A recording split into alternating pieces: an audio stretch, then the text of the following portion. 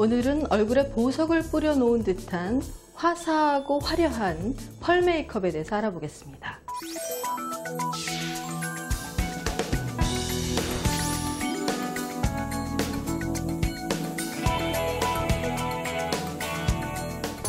기본 메이크업을 다 한 후 펄 메이크업을 추가할 수 있는데요.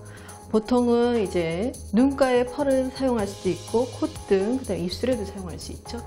피부 전체에 펄을 살짝 뿌릴 수도 있고요. 피부 전체에 펄을 살짝 발라볼까요?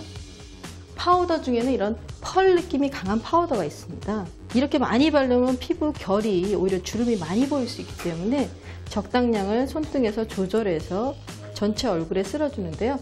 나와 보여야 되는 이런 하이라이트 부분에 미세하게 반짝일 수 있도록 쓸어주면요. 펄 느낌이 조명에서 반짝이기 때문에 아주 신비롭죠. 네. 볼 쪽에도 살짝 발라주겠습니다. 그 다음에 이제 하이라이트 블러셔로 이렇게 펄이 강한 어떤 제품들이 나와 있는데요. 발라보도록 하겠습니다. 이런 제품은 어디에다 바르냐면 웃었을 때 볼터치 위쪽 있죠? 예, 굉장히 펄이 반짝이는 것을 볼 수 있습니다. 여성들의 이런 펄만 보면 기분이 좋아지죠. 네, 이렇게. 그 다음에 이런 시중에 펄 라이너들이 나와 있는데요. 이 라이너를 그리면 이렇게 반짝이는 펄 느낌이 이렇게 보여질 수 있습니다. 이런 라이너를 이용해서 눈가에 펄을 살짝 발라볼까요? 네. 위에 보세요. 이런 라이너를 이용한 펄 메이크업은 언더라인 쪽에 바르면 좋은데요. 앞머리가 약간 반짝일 수 있도록 이렇게 발라주고요. 다시 이쪽도 그러면 굉장히 화사한 느낌과 럭셔리한 느낌을 동시에 느낄 수 있습니다. 앞머리에 그런데 정말 화려한 어떤 드레스를 입거나 더 포인트를 주고 싶을 때는 정말 반짝임이 강하죠. 이런 펄을 발랐던 이런 부분에다가 추가로 발라줄 수 있습니다. 그러면 반짝임이 훨씬 더 강해질 수 있으니까 발라보도록 하겠습니다. 위에 보세요. 굉장히 강렬하죠?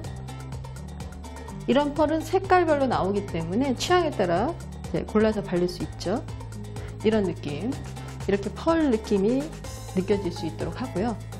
펄 라이너를 이용해서 라인도 그릴 수 있지만 펄 마스카라도 있습니다. 펄 마스카라를 굳이 어, 살 수가 없었다면 이런 라이너를 이용해서 마스카라 쪽에 어떤 살짝 이렇게 터치해 주는 것도 괜찮습니다. 속눈썹에 펄을 살짝 발라주고 있죠? 그럼 이제 조명 아래에서 이거, 이런 펄들이 반짝여서 위에 보세요. 굉장히 화려해지죠. 이렇게 펄을 사용할 수 있고요. 또 이제 가루 펄 단독으로 사용할 수 있는데 가루 펄 단독으로 사용할 때는 이렇게 손으로 살짝 묻혀서 섀도우 위에다가 살짝 톡톡 두드려주는 방법을 쓸 수 있습니다. 네. 한번 써볼까요? 네. 취향에 따라서 손등에서 조절하셔서 다시 네, 굉장히 블링블링하죠? 네. 한번 떠보시겠어요? 이렇게 화려한 어떤 펄 메이크업을 하실 수 있습니다. 그 다음에 이제 뭐 피부톤에도 펄을 사용했죠. 이제 눈썹 앞머리에도 펄에 포인트를 줘봤죠. 섀도우 위에도 펄을 사용할 수 있다는 걸 보여드렸고요. 그 다음에 이제 여름에 이렇게 파인 옷을 입죠. 그럴 경우에도 이런 가루 펄을 이용해서 펄 메이크업을 할 수 있는데요. 손에 묻혀서 살짝 이런 쇄골 부분에 살짝 바르면 이제 발랐을 때 느낌이 조명에서 반짝여서 드레스를 입거나 약간 파인 옷을 입었을 때 시선을 잡을 수 있겠죠. 그 다음에 이제 입술에다가 이제 립글로스를 발랐죠. 근데 립글로스에 유난히 펄이 없을 때 어, 펄을 만들어서 사용할 수 있습니다.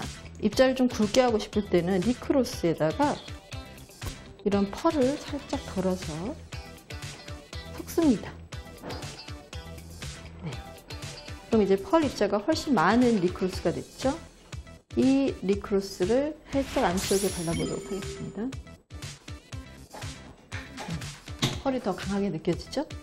이렇게 표현할 수 있습니다. 이런 가루 펄의 용도가 굉장히 다양하죠. 어, 눈에도 바를 수 있고 입술에도 바를 수 있고 심지어는 살짝 얼굴에 뿌려줄 수도 있어서 화려함과 화사함을 동시에 이렇게 표현할 수 있습니다.